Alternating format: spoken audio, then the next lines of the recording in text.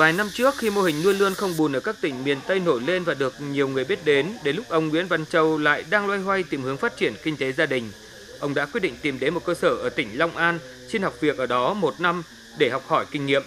Chính vì tinh thần chịu khó đó, nên dù là người tiên phong triển khai mô hình trên địa bàn, nhưng ông Châu đã rất dày dặn kinh nghiệm và sau 2 năm triển khai, mô hình nuôi lươn không bùn của ông đã mang lại hiệu quả kinh tế cao cho gia đình và được nhiều người biết đến. Khi qua cái thời gian tôi làm mà học hỏi cái cái cái nghề nuôi lươn không bùn này ở trong miền trong á,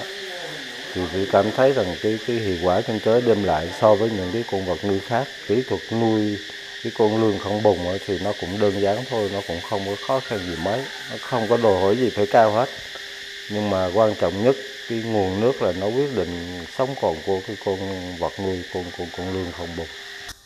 Mô hình nuôi lươn không bùn có nhiều ưu điểm kỹ thuật nuôi không khó, có thể tận dụng nhân công nhàn rỗi của gia đình, không tốn diện tích. Mỗi hồ nuôi tiêu chuẩn chỉ cần khoảng 6 mét vuông. Nếu không có điều kiện vẫn có thể giảm diện tích, mỗi mét vuông có thể nuôi 400 đến 500 con lươn.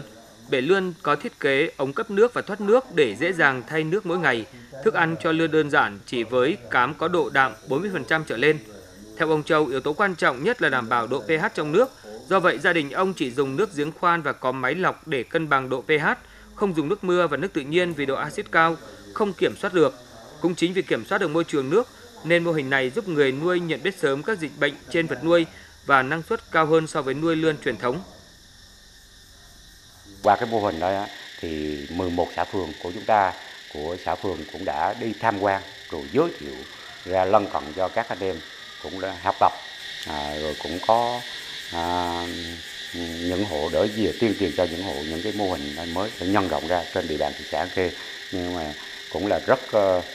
khó khăn bên cạnh những cái khó thuận lợi nhưng bên cạnh cái khó khăn của nó là cái đầu tiêu thụ nó